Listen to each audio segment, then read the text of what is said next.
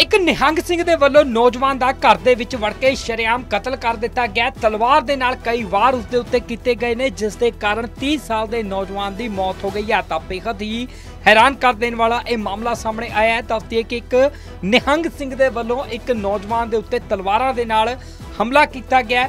ਘਰ ਦੇ ਵਿੱਚ ਵੜ ਕੇ ਨਿਹੰਗ ਸਿੰਘ ਨੇ ਉਸ ਨੌਜਵਾਨ ਨੂੰ ਮੌਤ ਦੇ ਘਾਟ ਉਤਾਰ ਦਿੱਤਾ। ਪੁਰਾਣੀ ਰੰਜਿਸ਼ ਇਸ ਦੇ ਪਿੱਛੇ ਵਜ੍ਹਾ ਦੱਸੀ ਜਾ ਰਹੀ ਹੈ।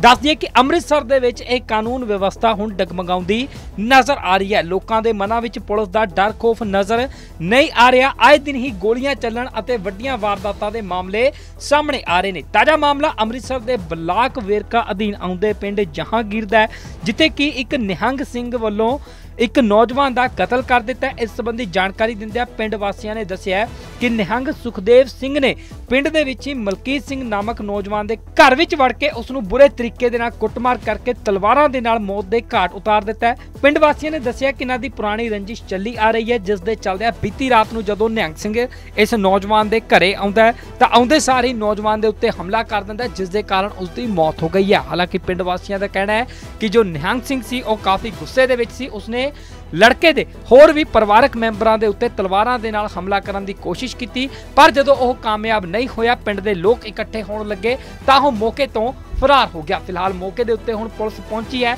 ਤੇ ਮਾਮਲੇ ਦੀ ਜਾਂਚ ਸ਼ੁਰੂ ਕਰ ਦਿੱਤੀ ਹੈ। ਤਾਂ ਅੰਮ੍ਰਿਤਸਰ ਦੇ ਜਹਾਂਗੀਰ ਦਾ ਇਹ ਮਾਮਲਾ ਸਾਹਮਣੇ ਆਇਆ, ਜਿੱਥੇ ਕਿ ਇੱਕ ਪੁਰਾਣੀ ਰੰਜਿਸ਼ ਨੂੰ ਲੈ ਕੇ 30 ਸਾਲ ਦੇ ਨੌਜਵਾਨ ਦਾ ਇੱਕ ਨਿਹੰਗ ਸਿੰਘ ਦੇ ਵੱਲੋਂ ਸ਼ਰੇਆਮ ਤਲਵਾਰਾਂ ਨਾਲ ਵੱਢ ਕੇ ਕਤਲ ਕਰ ਦਿੱਤਾ ਗਿਆ ਇਦਾਂ ਆ ਬਾਬਾ ਜੀ ਉਹ ਆਇਆ ਉਧਰੋਂ ਦੀ ਕੋਠੇ ਥਾਣੀ ਚੜ ਕੇ। ਸਾਹਮਣੇ ਵੀ ਪਹਿਲਾਂ ਰੋੜੇ ਮਾਰਦਾ ਰਿਹਾ ਕਿਤੇ।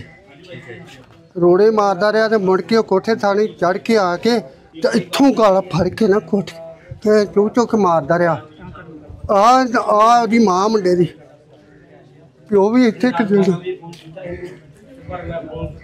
ਕਿਰਪਾਨ ਨਾਲ ਫੜੀ ਉਹਨੇ ਇਹਨਾਂ ਨੂੰ ਸਾਰੇ ਟੱਬਰ ਨੂੰ ਮਾਰਨ ਤੱਕ ਜਾਂਦਾ ਰਿਹਾ। ਘਰ ਦੇ ਬੂਹ ਉਹ ਆਏ ਨਾ ਇੱਕ ਸਾਨੂੰ ਨਹੀਂ ਪਤਾ ਵੀ ਮੁੰਡੇ ਨੇ ਜਾਂ ਕੋਈ ਗੱਲ ਦਿੱਤੀ ਹੋਈ ਜਾਂ ਕੋਈ ਕੁਛ ਹੋਇਆ, ਸਾਨੂੰ ਨਹੀਂ ਪਤਾ। ਇਹਦੇ ਵਿੱਚ ਉਹਨੇ ਮਤਲਬ ਵੀ ਉਤੋਂ ਦੀ ਆ ਕੇ ਤੈਨੂੰ ਮਾਰਿਆ ਚੁੱਕ ਕੇ ਇੰਜ ਕਰਕੇ ਦੋ ਵਾਰੀ ਤਿੰਨ ਵਾਰੀ ਇਹਦੇ ਮਾਰਿਆ। ਤੇ ਇਹਨੇ ਮੁੜ ਕੇ ਕਿਰਪਾਨ ਮਾਰੀ ਹੈ।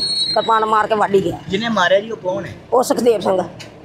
ਇੱਕੋ ਪਿੰਡ ਦੇ ਆ? ਹਾਂ ਆਵੇ ਉਹਨਾਂ ਦਾ ਘਰ। ਆ ਕਿਹੜਾ ਪਿੰਡ ਹੈ ਗਈ ਇਹ ਕਲ- ਇਹ ਕਲੋਨੀ ਜਹਾਂਗੀਰ ਕਲੋਨੀ।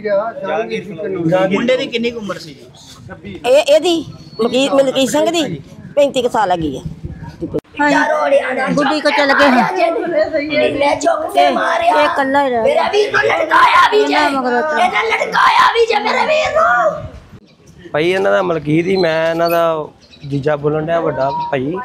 ਤੇ ਮੈਂ ਮਜੀਠਾ ਰੋਡ ਗੰਡਾ ਸਿੰਘ ਵਾਲੇ ਰਹਿਣਾ ਵਾਂ ਦੀ ਤੇ ਇਹਨਾਂ ਨੇ ਰਾਤ ਦੀ ਮੁੰਡੇ ਨਾਲ ਵਾਰਦਾਤ ਕਰਤੀ। ਇਹਨਾਂ ਦੇ ਬੈਕ ਸਾਈਡ ਹੀ ਮੁੰਡਾ ਰਹਿੰਦਾ ਵਾ। ਉਹਦਾ ਨਾਂ ਕੀ ਨਾਂ? ਕੀ ਨਾਂ? ਸੁਖਦੇਵ। ਸਿੰਘ। ਤੇ ਬੈਕ ਸਾਈਡ ਤੇ ਆ ਤੇ ਉਹ ਬਹੁਤ ਜਣਿਆਂ ਨੂੰ ਉੱਥੇ ਧਮਕੀਆਂ ਧਮਕੀਆਂ ਲਾਉਂਦਾ ਪਿੰਡ 'ਚ। ਬਹੁਤ ਵਾਰਦਾਤ ਪਿੰਡ 'ਚ ਕੀਤਾ। ਪਿੰਡ ਵਾਲੇ ਖੁਦ ਕਹਿਣ ਡਿਆ ਵੀ ਆਪਾਂ ਇਹਨੂੰ ਪਿੰਡੋਂ ਬਾਹਰ ਕੱਢਣਾ ਵਾ।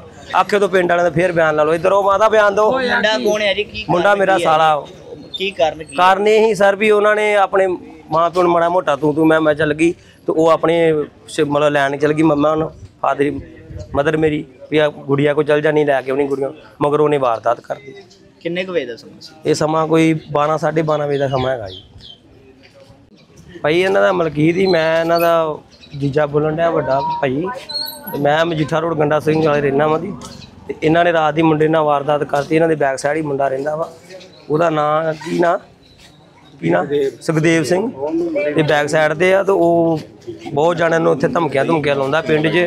ਬਹੁਤ ਵਾਰਦਾਤ ਪਿੰਡ 'ਚ ਕੀਤਾ। ਪਿੰਡ ਵਾਲੇ ਖੁਦ ਕਹਿਣ ਡਿਆ ਵੀ ਆਪਾਂ ਇਹਨੂੰ ਪਿੰਡੋਂ ਬਾਹਰ ਕੱਢਣਾ ਵਾ। ਆਖੇ ਤੋਂ ਪਿੰਡ ਵਾਲਿਆਂ ਦਾ ਫੇਰ ਬਿਆਨ ਲਾ ਲਓ। ਇਧਰ ਮਾਦਾ ਬਿਆਨ ਦਿਓ। ਮੁੰਡਾ ਕੌਣ ਹੈ ਜੀ? ਕੀ ਮੁੰਡਾ ਮੇਰਾ? ਸਾਲਾ।